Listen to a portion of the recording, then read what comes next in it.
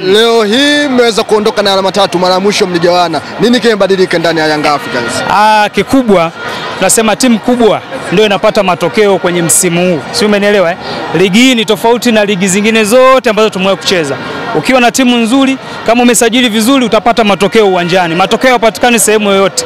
Yanga hii si tumesajili wachezaji wa viwanja vya aina yoyote, viwanja vibovu, viwanja vyenye matuta, sisi tunacheza. Hata tukienda Morogoro, sawa, sisi tutawaruhusu kama hata mvua isiponyesha wamwagie maji na tunashinda, kwa sababu una wachezaji wazuri. Ukishakuwa na wachezaji wazuri, wanakupa matokeo tu, tofauti na wenzetu hawana wachezaji wazuri, wanalazimisha kila kitu.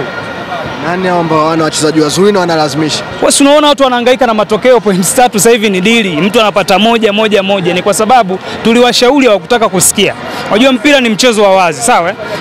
Niliwahi kusema msimu uliopita nyakati kama hizi wenzetu walikuwa wametuzidi kwa magoli pamoja na points, si umenielewa? Kwa hiyo maana yake msimu uliopita walikuwa wako vizuri kwenye striking force yao, sisi tulikuwa na magoli hafifu, si umenielewa? Sasa mwisho wa siku kama leo hii sisi tunapata magoli kama hivi na points, manake sisi tumefanyia kazi marekebisho au maboresho ambayo msimu uliopita tulikuwa na madhaifu. Wenzetu badala ya kuendeleza kile walichokuwa nacho, mwisho wa siku wamekibomoa. Ndio maana leo wana struggle, wanatumia muda mwingi kumzungumzia Chama, wanatumia muda mwingi kumbrandi Chama, Chama, Chama, lakini wanasahau kwenye pichi kuna kitu kimepotea, kuna kitu kinaitwa Simba wamepoteza, tunasema kama hamu ya kula au hamu ya kucheza, umenielewa? E, yani wamepoteza appetite kwa kifupi, hawawezi kupata matokeo kwa staili hii, na kama sisi wa, kama wao wataendelea kucheza e, wakianza sisi tunamaliza, hawameisha. Yani itakuwa hivi hivi points wanahesabu hii ya kumi, si ndio? Zitaenda kumi na tatu zitaenda kumi na sita mwisho wa siku wenyewe ndo watasema Yanga hii bingwa. Si nataka wao wenyewe ndio waseme Yanga hii bingwa. Naam, ni kama unataka kusema kwamba Simba ameingia kwenye tundu ambalo mmetoka bila shaka. Una maana gani kusema hivyo?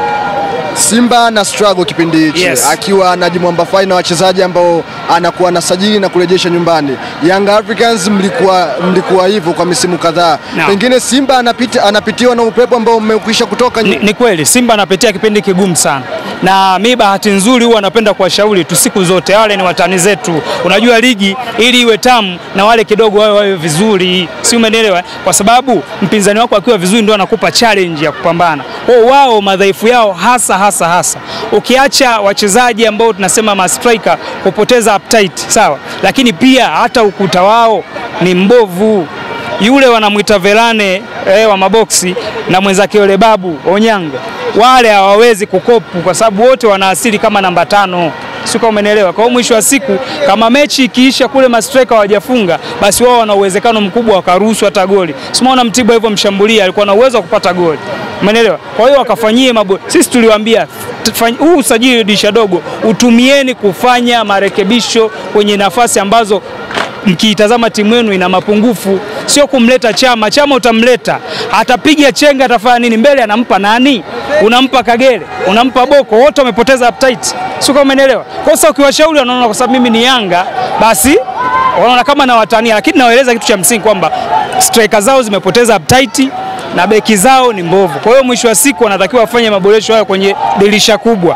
Kwa msimu huu wao hawana namna yoyote, wanatakiwa tu watusindikize sisi tuweze kuchukua ubingwa, kwa sababu hawana uwezo wa kutuzuia msimu huu. Yanga hii itashinda leo, itashinda kesho mpaka kiama, Sema sema.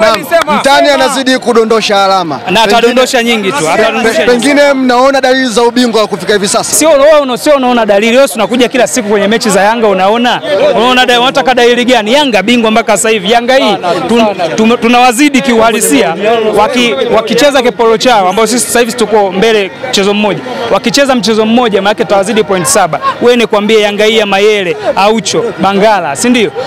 Ushindi wanaweza kaangusha point saba.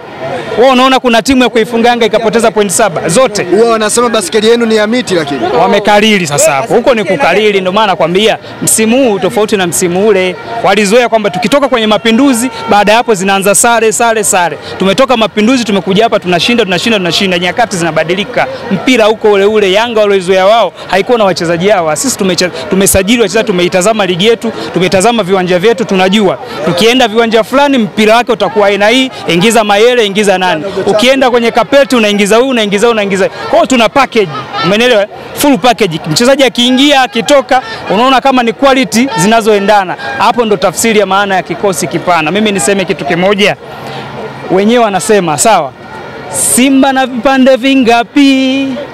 Vitatu. Simba na vipande vingapi? Vitatu. Kipande cha kwanza kichwa, tumbo na mkia. Ukiwa na maana gani? Simba mkia.